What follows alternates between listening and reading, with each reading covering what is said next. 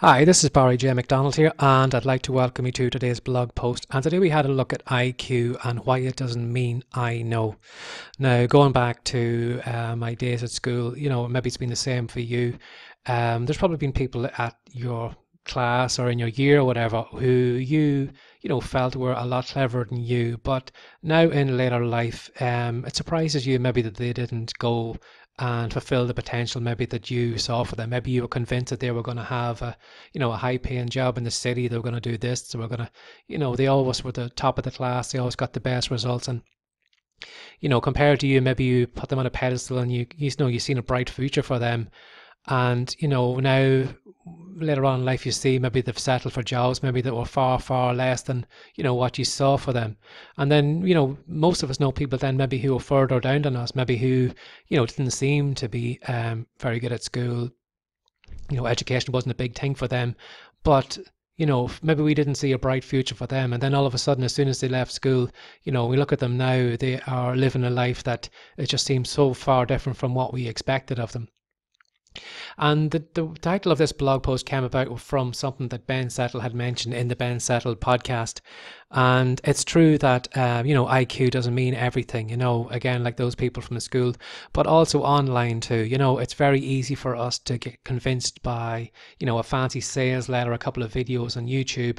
And it's very easy for us to get dragged into the belief that the person that's speaking on camera, you know, that's creating the content is the genius that we think they are. And sometimes it's not. Sometimes, you know, you're going to find that maybe somebody is writing their emails. You're going to find maybe that they're outsourcing all their video work or their writing work out to, you know, writers or somebody with more experience than them.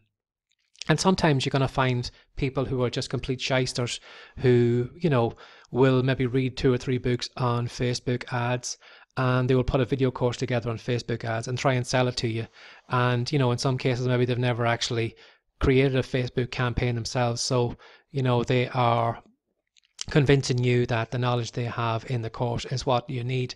And sometimes you're going to find people that are just rehash and, you know, stuff that they heard from somebody else or from some report they read somewhere else, from another person maybe who, you know, hasn't put that work into action, you know, so they're just kind of parroting the same kind of message which doesn't work and you unfortunately buy into this kind of genius halo that they seem to have with the fancy sales letters and videos and because of that then your business suffers from it. And then maybe you think that it's got something to do with you maybe that you weren't good enough when in fact that you were buying um, a product or following somebody who didn't actually know what they're talking about. So when it comes to IQ and you know whether somebody actually knows what they're doing and you know Ben said there's an easy way to find out, and that is basically just to assume that everybody online is full of BS.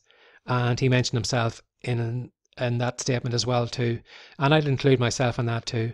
And um, what Ben said, if you want to know if somebody is actually full of it, is to you know follow them and, and see what they do. You know, is the guru that's trying to sell you a Facebook ad course? You know, are they on Facebook?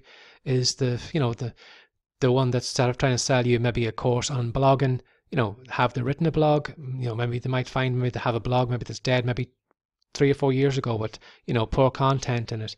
You know, is there someone that's trying to sell you their fantastic email course? You know, did they email you regularly? What's their emails like? So it's easy to see what, you know, if you do a little bit of investigation work, you know, find out is the person that you you know that everybody is the saying is this big genius. If they actually you know walk the talk if they actually do the daily things that you know they're trying to tell you that to do.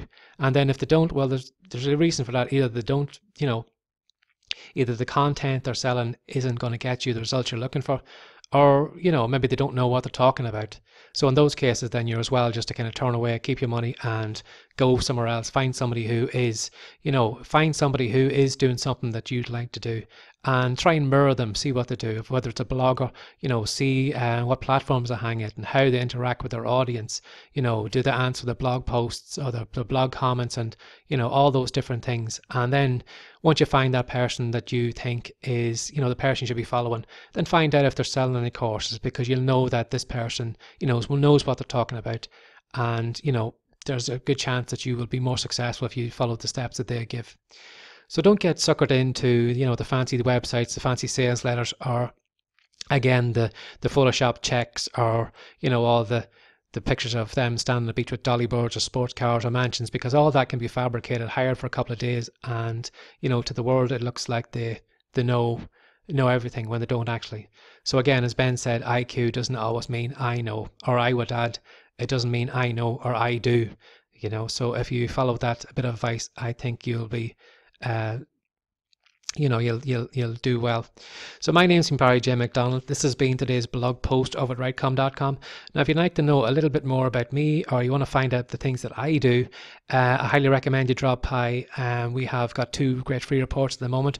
One of them is how to sell more books, and the other one is ten ways to make money from writing and I'm including some of the things I do every day in that uh, free report.